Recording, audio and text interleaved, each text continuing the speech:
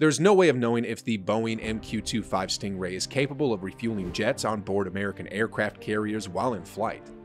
The MQ-25TM Stingray will be the world's first operational carrier-based uncrewed aircraft with aerial refueling and intelligence, surveillance, and reconnaissance capabilities to improve the CVW and carrier strike group's capability and adaptability.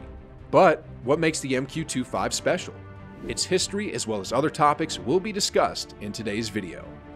The Unmanned Carrier Initiated Airborne Surveillance and Strike Program were launched in 2013 by the U.S. Navy to have stealth combat drones deployed aboard its aircraft carriers.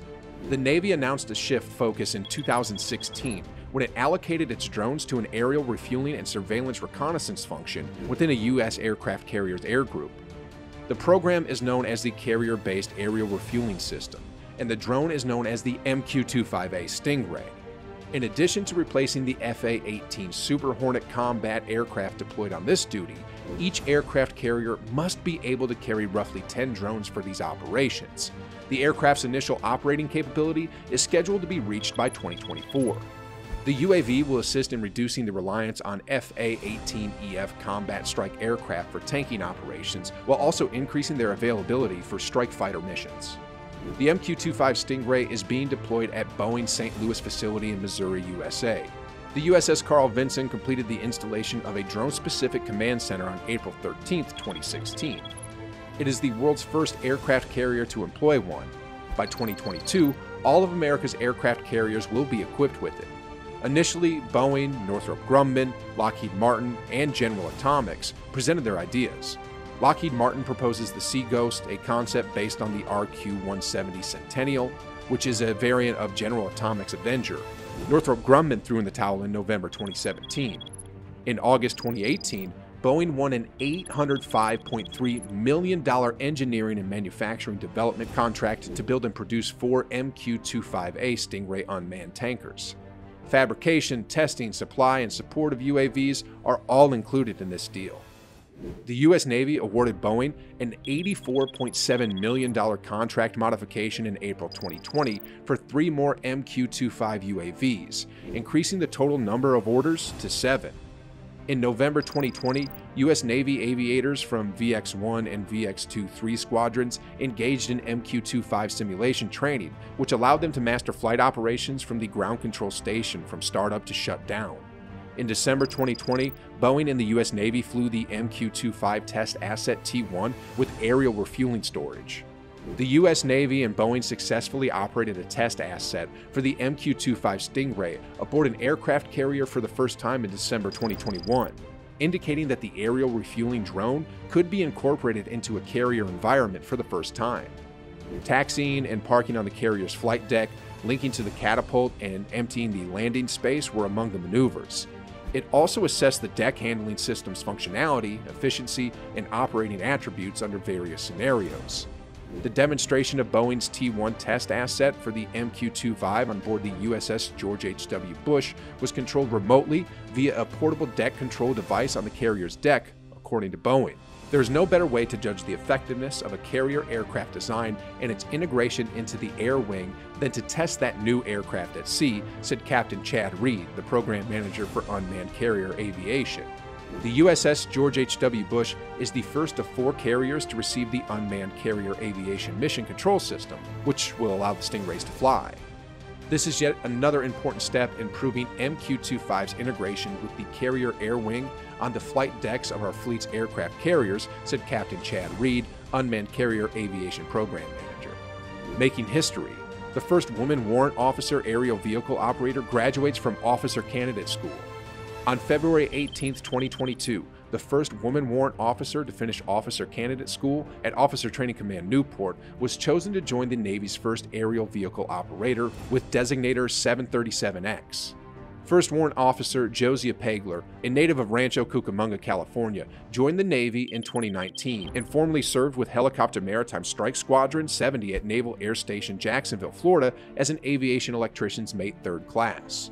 In 2016, she graduated from California State University, Long Beach with a bachelor's degree in healthcare administration. According to a Navy press release, the Navy announced a new Warrant Officer Specialty Designator in December 2020, whose duty would be to operate carrier based MQ 25 Stingray unmanned aerial vehicles, which are slated to appear in Fleet Carrier Air Wings in 2024. Out of 22 participants, Slade stated that she was the only female in her main selection class. Design the MQ-25A can transport up to 6,800 kilograms of fuel over 926 kilometers. It can refuel fighter planes like the FA-18 Super Hornet, EA-18G Growler, and F-35C, greatly expanding the range and duration in the air. The MQ-25 is powered by a single Rolls-Royce AE3007N turbofan engine with a thrust rating of 10,000 pounds, which is a variation of the engine used in the Navy's MQ-4C Triton. Compared to flying wing UAVs, the plane is less stealthy. It does, however, have a stealthy fuselage design, a flush intake to conceal engine blades from radar, and a V-tail. Satellite and radio communications will be used to carry out the refueling procedures. The Navy's standard catapult launch and recovery mechanisms will be combined with the unmanned tanker. Core Power electronic circuit breaker unit technology will be installed, giving operators sophisticated control and visibility of the onboard power systems. The AE3007N is the most recent high bypass turbofan engine in the AE3007 series. Boeing recently announced the construction of a new plant to produce the MQ 25 Stingray. Boeing announced plans to develop a new high tech plant in Illinois to produce the MQ 25 Stingray, the Navy's first operational carrier based unmanned aircraft, on September 17, 2021. According to Boeing, the 300,000 square foot plant at Mid America St. Louis Airport, which is set to open in 2024, will initially employ around 150 mechanics, engineers, and support workers to produce the MQ 25 Stingray. However, with more orders, employment might approach 300 people. The whole MQ-25 aircraft and its systems were digitally designed, resulting in high-fidelity models that were utilized to promote quality, efficiency, and flexibility throughout the manufacturing and sustainment process. According to reports, the new MQ-25 facility will have cutting-edge manufacturing procedures and technologies, such as robotic automation and advanced assembly techniques, to increase product quality and staff ergonomics. Boeing and the Navy have been flight testing the Boeing owned MQ 25 test asset from Mid America Airport for the past three years. T 1 has refueled an FA 18 Super Hornet, an E 2D Hawkeye, and an F 35C Lightning II on recent flights, as stated earlier in this video. According to Boeing, the U.S. Navy plans to buy more than 70 MQ 25 planes to help expand the range of carrier air wings, most of them being constructed at the new plant.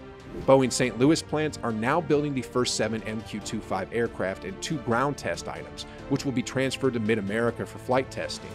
The MQ-25 program office will continue in St. Louis, as will the core engineering staff. The new MQ-25 factory will be in addition to Boeing St. Clair's existing production operations, which includes the CH-47 Chinook, FA-18 Super Hornet, F-15, and other defense items.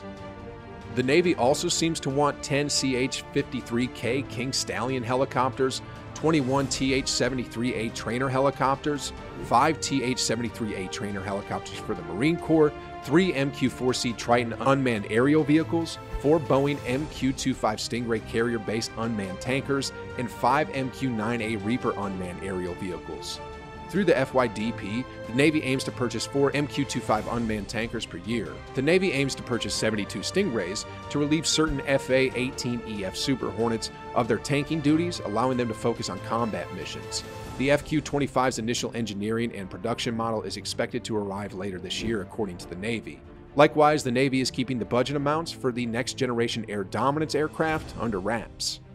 If you've made it this far in the video and want to see more, check out our video on the EA-6B Prowler, the world's most insane aircraft. So, how do you feel about the MQ-25 Stingray? Despite having a few successful tests, do you believe it will have some problems like some of the other projects that Boeing is working on, such as the Boeing Starliner? Please let us know what you think in the comments section below. Don't forget to subscribe, and we'll see you in the next video.